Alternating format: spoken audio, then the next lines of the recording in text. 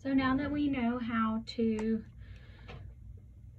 define a redox reaction, the first thing we need to do is define, um, or we need to assign some oxidation states. So an oxidation state is something like a charge. So it's sort of like a charge. And, you know, we've, we, we've dealt with charges like when we did um, ions and you know, uh, compounds, but it's going to get a little bit more complicated than that. Every um, element that's going to be in one of these equations is going to be assigned an oxidation number. So charge is just to kind of help you. But the rules are, and you need to know these because I won't give them to you, okay? Free elements are zero. They have no charge. They exist so, and it doesn't matter whether you're talking about an atomic element or a molecular element, they have no charge, so it's zero. If you have a monoatomic ion, so like a metal like calcium plus two or um,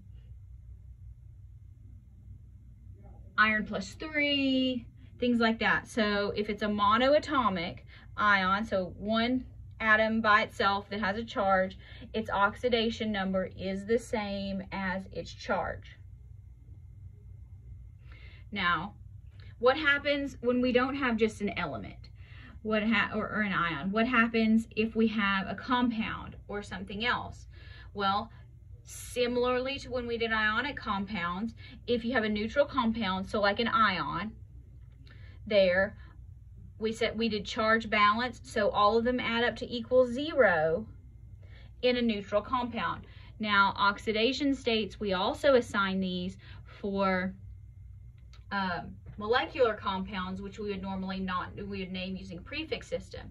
So even if you're using, if you have two nonmetals, if it's neutral, it's going to be, the sum of them adds up to be zero.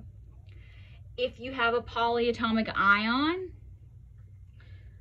all the oxidation states add up to equal the overall net charge. I know this can get sound very confusing, but we're going to practice this and it'll get a little bit better. Metals, remember where metals are on the periodic table. They're everything to the left of the stairs.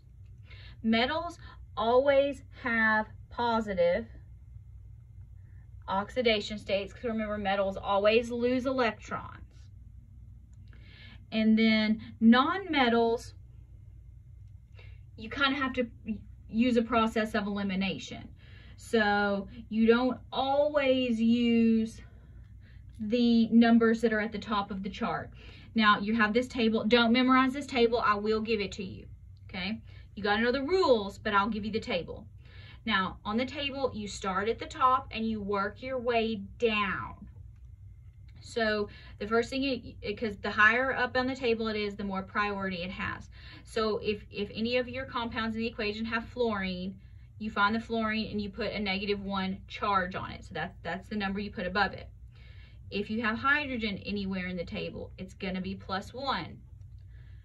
If you have oxygen, it's gonna be minus one. Now, if you have something that has fluorine and oxygen, fluorine gets the priority and you have to figure out mathematically what oxygen is.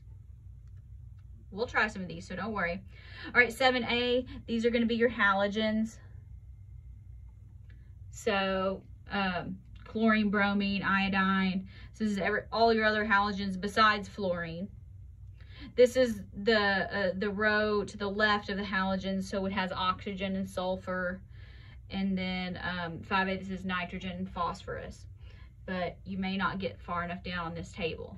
So these are the rules. The higher up on the table it is, the, the more priority it has. So if you had something that had fluorine and um, nitrogen, fluorine gets the negative one. You have to figure out what nitrogen is because it might not be minus three. In fact, that happens a lot. Um, so those are the rules.